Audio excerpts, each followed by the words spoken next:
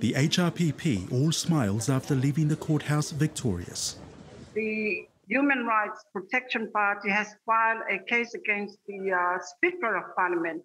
The Supreme Court giving the green light for the party's 18 elected members to be finally sworn in. We have finally come to the end of the long struggle, a very unnecessary struggle. It concludes another turbulent week in Samoan politics, which began when the opposition was denied a swearing in on Monday. They were given a chance to be sworn in by the Speaker, but because they do not recognize the Speaker, because the Speaker wasn't uh, sworn in by the head of state.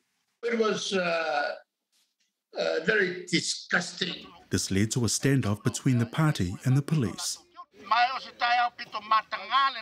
The opposition leader Tuilaepa Sailele Malialinga Oi calling on church leaders to take a stand, but things didn't pan out as expected. The National Council of Churches advised them to accept the uh, government's decision. But they didn't expect that to come from NCC. The Archbishop also made a presence amidst the upheaval, holding an ifoga outside the government building. According to the Archbishop, this is our turn. These are the church leaders' turn to, to, to stand up for peace and everything. So that's why it wasn't, it, was, it, had nothing to do with the, with the politics or anything. It was just so that Samoa remains peaceful and calm. So that's why he did the reformer. But with budget talks in progress without the opposition present, Tuilaepa wasn't backing down.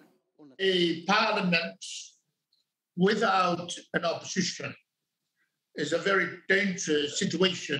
The former Prime Minister adjusting to life in opposition, with some newfound support, while others yet to be convinced. That actually pushed up the uh, sympathy, uh, people's sympathy for HRPP. But uh, there are also a lot of people that are calling in that it's a good thing that they tested their own medicine